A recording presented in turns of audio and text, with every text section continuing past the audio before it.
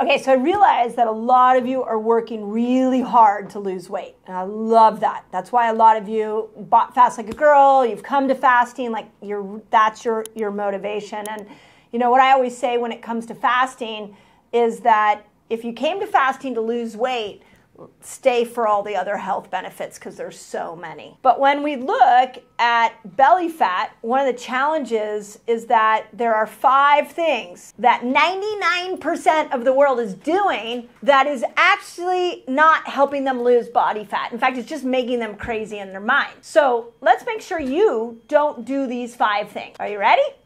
Here we go. Let's dive in. Belly fat. All all fat is is excess something. It's either excess sugar from your blood sugar going up and down too many times from the quality of the foods you eat. It's excess hormones from like estrogen mimickers and cortisol is a hormone. So, and I'll talk about cortisol in a minute. So, I, you know, I'll be I'm really authentic and, and honest with you. Every once in a while, I get some belly fat, 53 years old, and I'll go look in the mirror and be like, whoa, whoa, whoa, wait, what's going on? All of a sudden, like, I, I can see that a little accumulation of fat happened there, and my brain goes to, okay, what are your stress levels like, Mindy? Has stress gotten out of control? Um, so, but I do ask myself, maybe, have I been doing too many carbs? So, when we look in the mirror and we don't like that belly fat, can we just stop saying mean things to ourselves and we can start looking at the possibility that it's just excess? Something in our life got us got off track and then we just need to address it now. So that's the mentality I want you to take when you're coming after the belly fat. I want to stop the shaming. I want to stop the guilty. And I want to stop the harsh things you say to yourself. I want you to look in the mirror and love yourself. I want you to love living in this body. So there, these are the five things that are never, ever, ever going to help you lose belly fat. So let's stop them. Ready? Number one, counting calories.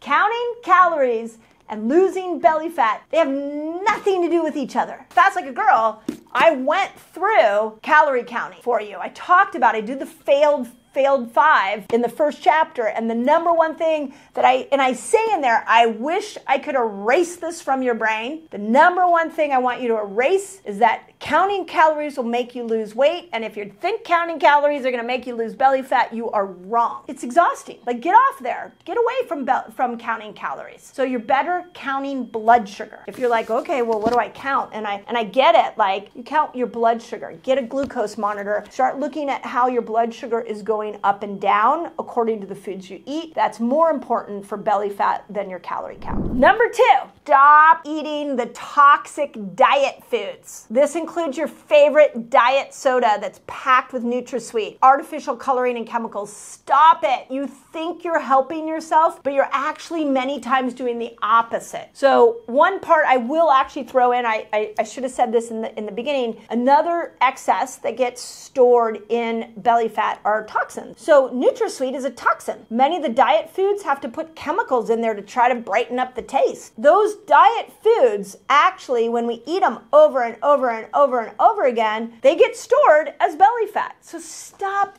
doing the diet foods. Now, I'm not saying like, you know, if it's if it's a diet Coke, I'm not saying switch to Cokes, but switch to sparkling water. Switch to like a mineral water or or some, or some kind of tea or something. But it's the chemicals that we have to put in diet food to somehow enhance the taste that is turning to belly fat. Okay, number 3. Stop sitting still when stress hits too many of you, when stress hits, you go onto the couch, you sit down, call a friend and bitch about it. Best thing to do when stress hits is move your body. Cortisol is a hormone that was made to make you move. But when we're sitting at home and we're on our phone and we see somebody on Instagram do something that, and we start to get FOMO, or we get on Instagram, we're like, that person's more beautiful than me, pairing ourselves to somebody else's highlight reel, stressing ourselves out, and we're sitting on the couch creating this cortisol surge, that's going to belly fat. Put the phone down, put the shoes on on, put your sneakers on, and go for a walk. If you're like, ah, it's nighttime, and I to go outside, then do squats, air squats, just up and down, up and down. But you stop sitting when stressful events happen, move your body. That's going to help with the cortisol that accumulates around the belly. Okay, number four, and this is for my fasters because I know a lot of you struggle with this, including me. I've had to get really resourceful, which is stop limiting your vegetables. Your grandma, your mother was right. Your vegetables are important for a variety of reasons, but specifically, they help feed a set of bacteria in our gut. Both men and women are getting estrogen mimickers everywhere. We're breathing them in from our perfumes, they're in um, our pesticides sprayed on our vegetables, they're in our commercial meats, they're everywhere. And so, if we are accumulating this estrogen, your body's going to store it as fat. And we need to make sure that we're constantly feeding the bacteria in our gut that's going to break that estrogen down. So, leafy greens, lots and lots of leafy greens, especially for my perimenopausal and menopausal women, lots of leafy green. Number five, you are not sweating. Sweating is how we get toxins out of our body. So make sure you are sweating every single day. This can be through a sauna, this can be through movement, but we've got to be sweating on a regular basis. Just like we've got to be eating our leafy greens, just like we have to be moving. These things are, are innate to the human body.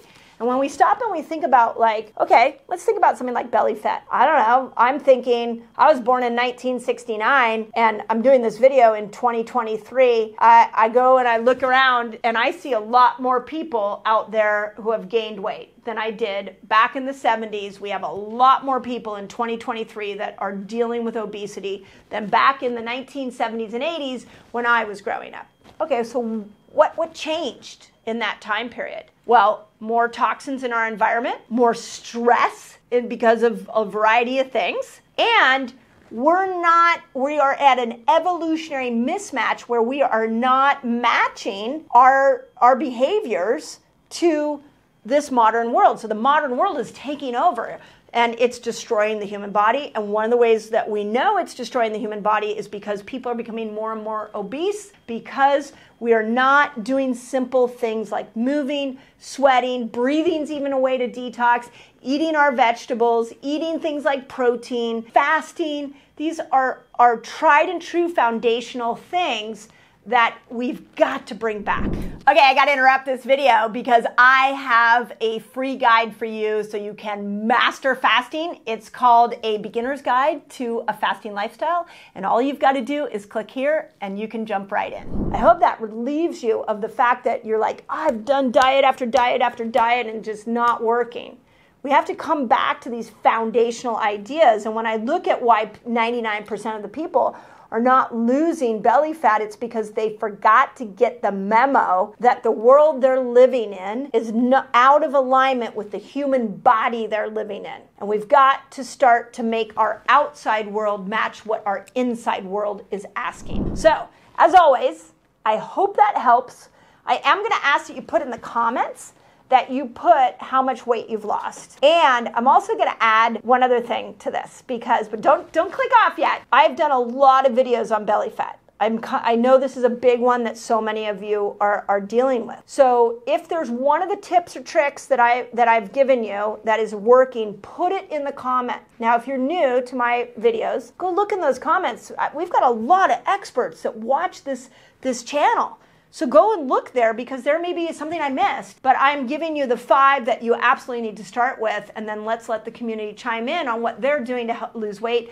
This is what are you doing with your lifestyle? Please, this is not an invitation to promote products or anything like that. I just want us to gather our brains together so that we all can win at the game of health. So on the next video, I have it's called Do This Before You Sleep to avoid belly fat. And there's habits you want to do the night before, and there's habits you want to do in the morning, and all of those make a big difference. Make sure your room is cool. If our mattress is cool, if the room is cool, it activates the parasympathetic nervous system. This is a little bit like cold plunges.